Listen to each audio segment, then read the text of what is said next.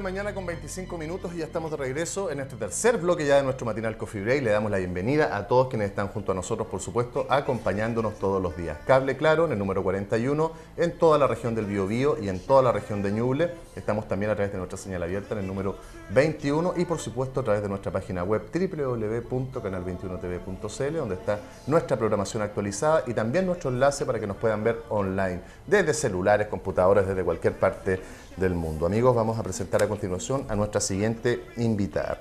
Yo me encuentro aquí junto a Soledad Toa. Ella es candidata a diputada, ¿cierto? Por acá, por el Distrito 19 y también, eh, como eh, le quiero contar un poco acerca de su desempeño. Si ustedes la conocen muy bien, obviamente, claro que sí, porque ha estado ligada desde hace muchos años al ámbito de la política. Fue eh, intendenta, ¿cierto? Fue delegada presidencial en Ñuble y concejala también aquí en nuestra ciudad con la primera mayoría en el año en que ella se presentó. Soledad Toa, bienvenida. ¿Cómo estás? Muy bien, un gusto agradecer a Canal 21 la oportunidad que tengo hoy día de conversar y conversar con la ciudadanía, que justamente es lo que estoy motivada para trabajar. No, muchas gracias a ti por estar esta mañana junto a nosotros para conversar un poco de todo, ¿cierto? Vamos a hablar de contingencia, de política, vamos a hablar también acerca de la forma de hacer campaña y por ahí vamos a comenzar. ¿Cómo ha sido la forma, el trabajo que ustedes han llevado a cabo en este periodo de campaña, Soledad?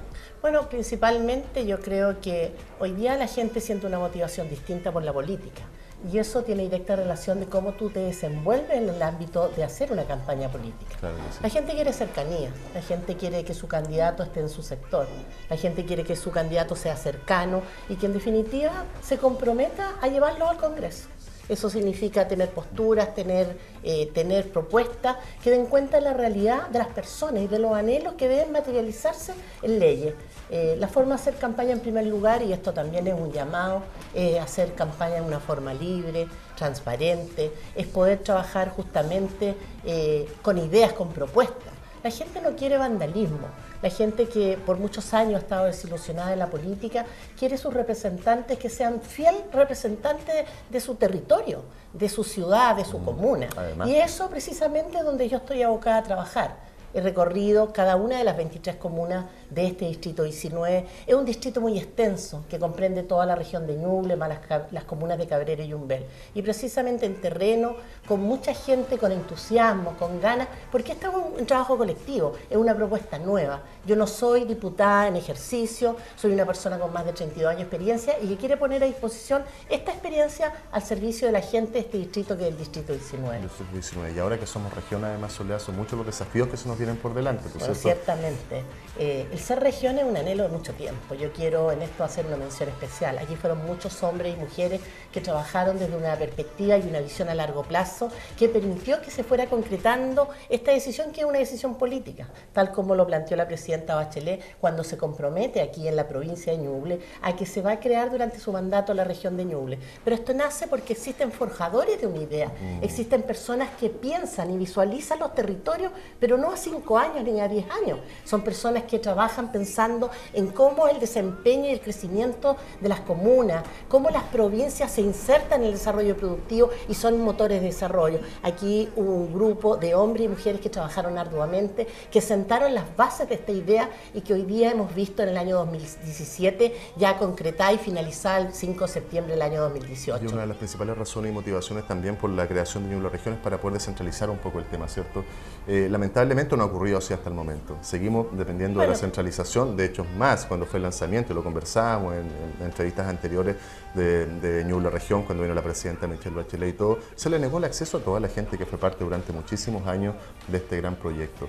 No se les permitió la entrada, no les dieron reconocimiento, canto y pues no sé quién vino, pero el chico Miguel Barriga, que es conocido por todos ustedes, que es el vocalista del Grupo Sexual Democracia, quien creó el himno de Ñuble Región, videoclip con recursos propios, se le prohibió la entrada. Bueno, justamente yo creo que esas son las cosas que la gente no quiere. Eso es lo que Esta idea surge aquí, surge en Ñuble. ¿Y eso no será un precedente, Soledad, de que vamos a seguir dependiendo de Santiago? Es que no tiene que ser así, y los actores políticos son relevantes en aquello. Eh, ciertamente nosotros no queremos cuoteos políticos, mm. nosotros no queremos que una idea que surge desde la base, desde la provincia de Ñuble, en definitiva caiga en manos de personas que no han sentido ni han sido parte de lo que ha sido la formulación de esta idea. Yo quiero rescatar en el año 94 en marzo del año 94, mi padre, el doctor Isidoro Toá, siendo diputado por el Distrito 41, plantea por primera vez en la Cámara de Diputados la necesidad que tiene Ñuble de separarse de la región del Biobío y sentar las bases de una nueva región. Y lo plantea con las siguientes palabras nos sentimos ahogados y asfixiados. Ñuble tiene tremendas capacidades y potencialidades. Necesitamos nuestra libertad para poder proponer desde las bases que nosotros tenemos, es decir, con una tremenda historia, con un bagaje cultural. Eh, siempre hemos dicho, Chillán y Ñuble es cuna de héroes y artistas, es cuna de tremendos aportes a lo que ha sido el desarrollo político y social del país. Tenemos las ganas, la fuerza y la gente y por sobre todo algo que es esencial y que fue en definitiva eh, un elemento definitorio en la, en la resolución de crear la región de Ñuble, es decir, el capital humano. Muchas veces se realizaron estudios, estudios que realizaron diversas casas de estudios y todos apuntaron precisamente a eso, de que existían externalidades positivas y negativas y que el fuerte que tiene Ñuble para ser región hoy día es precisamente su gente. Eh, el año 2004 eh, lo planteé y se oró en la Cámara. Él forma parte de este comité Ñuble Región junto a muchos hombres. Yo no quiero nombrarlos porque son muchos. quienes plantearon esta idea y configuraron el primer equipo. Pero hoy día Ñuble es región y Ñuble al ser región quiere independencia, quiere definir sobre sus recursos, quiere que se generen sistemas participativos para definición de recursos en cada una de sus tres provincias. Eso es en definitiva hacer democracia, pero desde la base, en construir presupuestos participativos, en definir las prioridades, en que nuestras autoridades sean locales.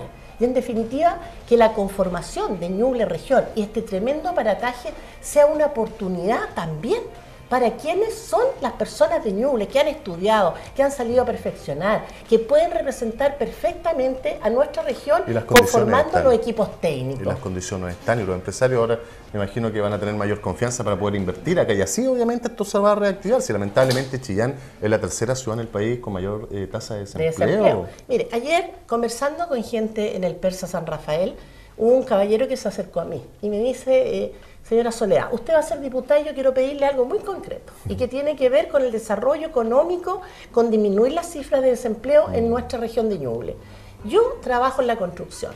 Aquí muchas veces existen mega obras. Tenemos construcción de edificios de departamentos, va a existir la construcción del casino, muchas obras por un lado que tienen financiamiento que es estatal y por otro lado que son privados y todas ellas son los mayores generadores de empleo. Y muchas veces la obra de mano que se contrata es de afuera. Nosotros no podemos permitir eso, nosotros tenemos que incentivar a que todos aquellos recursos de infraestructura que se invierten en la región de Ñuble, quienes realizan la obra materialmente, es decir, sus maestros, sus albañiles, sus carpinteros, ojalá sus ingenieros, sus arquitectos, sus constructores, sean personas de la región de Ñuble. Tenemos la capacidad humana, tenemos las ganas de hacerlo bien y ciertamente cuando hay inversión pública también se pueden establecer condiciones que permitan bajar el desempleo, que es una de las preocupaciones mayores que tiene la gente aquí, que muchas veces se da por estacionalidad. es bastante el desafío que se nos viene adelante ya al ser región. Bueno, Soledad, tú tienes una vasta experiencia en el ámbito de la política, tú tienes, eh, te has desempeñado en el servicio público, tú quien más que nadie sabe eh, cuáles son, digamos, nuestras principales deficiencias, pues en este peregrinaje en este recorrido por las 21 comunas, eh, Cabrero y Umbel, ¿qué es lo que tú has percibido de la gente? ¿Qué soluciones son las que quiere de manera más rápida y concreta? Bueno, eh, nosotros tenemos que separar las necesidades en torno a las grandes urbes que tiene la región de Ñuble y aquellas comunas con una alta tasa de ruralidad. Aquí existen dos componentes que son vitales cuando uno hace una planificación desde la perspectiva del Estado, es decir, de la inversión, las motivaciones, cómo se generan los espacios de decisión frente a las grandes obras o cómo se traza una historia que en definitiva se construye en conjunto con lo, es, lo que es nuestra vocación y nuestra estrategia de desarrollo regional. Por un lado, las comunas con alto grado de ruralidad. Aquí es es inminente la necesidad de poder aportar mayores recursos en conectividad. Los caminos rurales están en muy malas condiciones. Hemos avanzado mucho. Hoy día tenemos los caminos hacia las 21 comunas de la, de la región de Ñuble eh, pavimentados, sus accesos. Pero los caminos interiores tienen serias falencias, serias deficiencias. Y si nosotros queremos decir que nuestra región, una de las vocaciones productivas mayores es la agricultura, la silvoagricultura, eh, nosotros debemos tener caminos que permitan que nuestros productos puedan salir rápidamente a ser comercializados, que lleguen a puerto o al lugar de distribución en buenas condiciones, con mayor acceso a las tecnologías. Pero por otro lado, en las ciudades también tenemos problemas que son necesarios abordar con urgencia. preguntar, sí, porque todo el mundo se enfoca en lo rural. Está bien, son muchas las necesidades. En lo rural, pero acá también, en la urbe, tenemos lógico. bastantes problemas. En lo rural, los caminos. El agua potable rural es necesario. Los incentivos para generar mayor cantidad de empleo, es decir, transferencia tecnológica, capacitación, poder generar mayor productividad. Y la productividad se da cómo? Se da con, con energías limpias, se da con energías a más bajo costo y renovables. La productividad se da con personas que trabajen con una ley eh, que permita que se resguarde también sus derechos, sus deberes y sus derechos, con la posibilidad de la sindicalización, con jornadas laborales que den cuenta de la necesidad que uno tiene de trabajar, pero también de compartir con su familia. Y por otro lado, las grandes ciudades, hoy día tenemos problemas que nos ahogan. Hace pocos días estuve en la comuna de Chillán Viejo entregando los calefactores del proceso del plan de descontaminación ambiental para la intercomuna de Chillán y Chillán Viejo. Y nosotros entregamos 667 calefactores para recambio. Y yo se lo planteé al Ceremi de Energía. Nosotros necesitamos hacer este recambio al menos con cuatro o cinco veces anual el presupuesto. Solo así podremos enfrentar uno de los tremendos problemas que tenemos. La contaminación por material particulado fino en nuestra ciudad nos asfixia. Y no solo eso, es una de las causas de mayor eh, muerte en la intercomuna de Chillán y Chillán Viejo para los enfermos crónicos, a quienes tienen problemas respiratorios, a quienes tienen asma, a los niños, a los niños, a nuestros ancianos. Ese es un tema país que nosotros tenemos que abordar. Y no solamente en Chillán y Chillán Viejo, nosotros ya debemos plantear la necesidad que tienen otras grandes ciudades de nuestra región de Ñuble, por ejemplo, San Carlos. Y eso significa que a la gente en una, en una comuna y en un territorio, en el sector centro-sur de nuestro país, que es muy helado en invierno y muy caluroso en verano, tenemos que darle una alternativa de calefacción que sea barata. Eh, es decir, aquí no pueden existir privilegios Es que no contaminen. que no contamine, que sea barato. Y para eso los programas de recambio son esenciales. El poder acondicionar térmicamente con mayores recursos a través del programa de protección del patrimonio familiar del Ministerio de Vivienda y Urbanismo conjugan aquel elemento vital para nosotros avanzar en lo que es el proceso de contaminación de Chillán. Yo, siendo intendenta en el año 2006, planteé la necesidad de declarar zona saturada a la intercomuna de Chillán y Chillán Viejo. Lamentablemente, la normativa ambiental en Chile, los pasos y los procesos son muy lentos. Tuvo que demorar muchos años al ver la luz, pero hoy día las medidas que se aplican para el plan de descontaminación ambiental tienen que ser más eficientes, más efectivas, con mayores recursos, con mayor educación a la comunidad. Solo así todos seremos capaces de entender que este es un problema que nos afecta a todos. Eso por un lugar. Por otro lugar, la conectividad. Chillán es una ciudad que nosotros no- gozábamos de una calidad de vida excelente. Nosotros teníamos la posibilidad muchas veces ir a nuestras casas a almorzar, de ir a dejar a nuestros niños en los establecimientos educacionales, compartir más en familia. No, no Hasta para siesta alcanzamos. Pero, Hasta podíamos dormir sus siestecitas de la jornada de la mañana. vida no es solo trabajar, Claro. la vida es poder compartir con su familia, tener un lugar de esparcimiento, poder recrearse. ¿Y qué podemos hacer con estos tacos? Vamos a dejar a nuestros niños al colegio y tenemos 40 minutos en los Hay tacos. que modificar el plan de desarrollo vial, ¿cierto? Hay Mire, muchos sectores hoy de nuestra comuna entró en discusión, ya la semana pasada entró en discusión el, el plan regulador eh, intercomunal para unas primeras consultas para hacer modificaciones. El elemento vital aquí es la participación. Claro. Sin participación de los sectores, de los sectores de Chillán Viejo, los sectores de Chillán, es imposible plantear nuestra ciudad a 20, 30 años. La ciudad no puede No ser planificada a 5 años. El crecimiento de nuestra ciudad, del campo vehicular, ha sido pero extremadamente eh, rápido. Nosotros debemos enfrentar la, la congestión vehicular con medidas que en definitiva permitan planificar la ciudad como un centro y un eje neurálgico de servicio como un centro y un eje neurálgico de conectividad hacia el resto de las regiones, en la séptima región, en la novena región, eh, y que nos permita a nosotros tener una fuerza pujante en términos de desarrollo, pero desarrollo con equidad, pero la conectividad es esencial. Es Es esencial. decir, contaminación, conectividad y mayor, algo que no quiero olvidar, porque es vital para nuestros niños, es vital para los adultos mayores, es vital para quienes, a quienes quieren desarrollar una vida sana, que son las áreas verdes.